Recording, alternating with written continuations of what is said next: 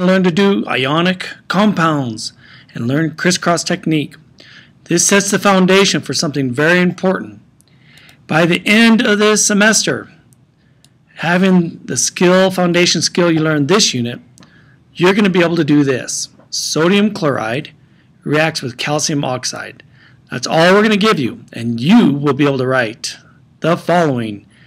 Na plus Cl minus will end up being NaCl. Calcium oxide, you'll be able to write CaO. You'll be able to predict the products. So you'll see that calcium will match up with chlorine, and there's going to be a 2 here. This is the unit you'll learn that. And sodium oxide is Na2O. And then you'll be able to balance using coefficients. Two chlorines here, so you're going to come back and put a 2, two sodiums, you see you have two sodiums, etc. So, important unit. Here's another example. Hydrochloric acid reacts with zinc metal. HCl, you'll be able to write plus zinc, and you'll see that zinc is just Zn. And you'll see, you'll be able to predict that it's a single displacement reaction. Zinc will match up with chlorine, ZnCl2, plus hydrogen gas. And hydrogen gas is a diatomic molecule, so you'll know to write H2. So this unit is a foundation of being able to complete this semester, being able to predict and balance reactions. Sodium chloride, sodium, group 1A has one valence electron. And that next shell inside, there's eight in the outer shell. If sodium can get rid of this one electron, it'll reach its happiness moment. Chlorine, group 7A, has seven valence electrons. So, what happens real naturally is this electron from sodium is donated to chlorine. And what you're left with is sodium has a, the next shell is full, chlorine, its outer shell is full with eight valence electron, it's reached its moment of happiness. So, sodium chloride simply forms NaCl. More importantly, it's a one-to-one -one ratio. There's an implied subscript 1 here. You don't need to write it. So when sodium matches up with chlorine, for every one sodium, there is one chlorine. Chloride, when you look it up on the periodic table, forms 2 plus for the ion. Chlorine forms a minus. So, calcium tries to give up its electrons to chlorine, you can see it can give it to this chlorine, but there's still one left over, so it doesn't quite work out. So, that first electron can go to one chlorine, and if you can find another chlorine, then it's going to work out perfect. And so we're going to teach you something called the crisscross. And the saying is, crisscross the number, not the charge. So back up here with calcium, it has a 2 plus. So that 2 is going to come down and crisscross with the chlorine. Remember, just the number, not the charge. And so when you have calcium chloride, you have to have one calcium for every two chlorines. And that's it. Okay, let's take a look at iron 2 oxide. Iron 2, Fe2 plus, oxygen's in group 6A, so it's 2 minus. So if we practice our crisscross technique, we'll say it's just a number, just this 2 will come down. For oxygen, just this 2 will come down. Let's take a look at that. And so according to the crisscross technique, it looks like we need two irons for every two oxygens. But let's take a look at the actual electrons. Iron 2 has two valence electrons that it's going to give up, and oxygen just needs two. And so it's a matchup, just as is. It's a perfect matchup one to one.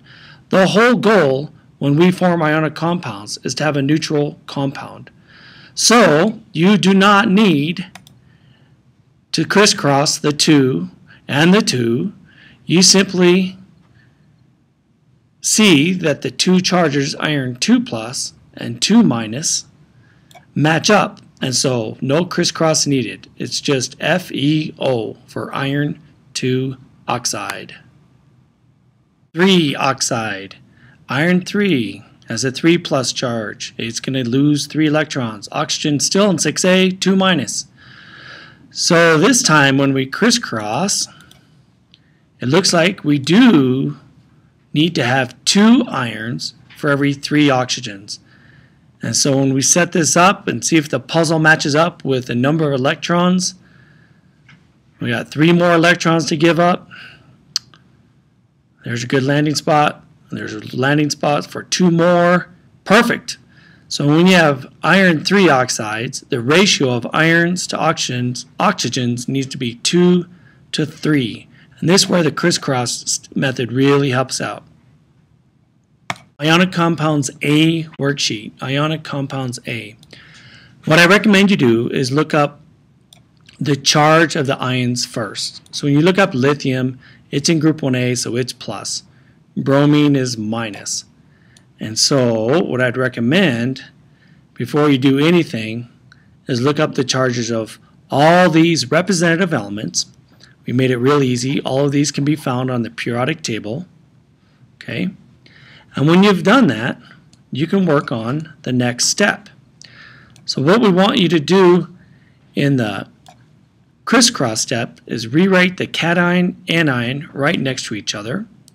Remember you crisscross the number, not the charge, but when it's just plus and minus, the ones are implied. So it's simply LiBr. And this, we're zoomed in a bit too much, but it's going to be lithium bromide. Remember, you just name the cation and you name the anion. Group 567 need to end in "-ide". So let's jump down to one that's a little more interesting. Calcium fluoride, Ca2 plus, group 2A, fluorine's minus. So rewrite the cation Ca2 plus, F minus. And we're going to bring just the number, just this 2 comes down with the fluorine. Crisscross the number, not the charge.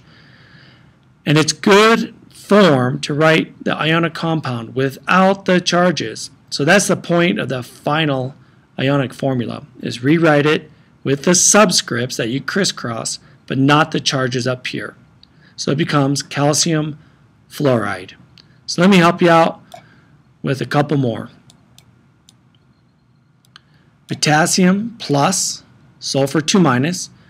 Rewrite the compounds so they're next to each other. This 2 from the sulfur is going to come down and go with the potassium. And then you rewrite it K2S. Again, you rewrite it without the charges. Potassium sulfide. One more. Actually, I want to jump down to the, the next one. Boron 3 plus, nitrogen 3 minus. Remember, if the charges are equal, 3 plus, 3 minus, there's no need to crisscross. If you do, you'll end up getting B3N3. So if ever you see that, you recognize you can reduce it to a 1 to 1 ratio.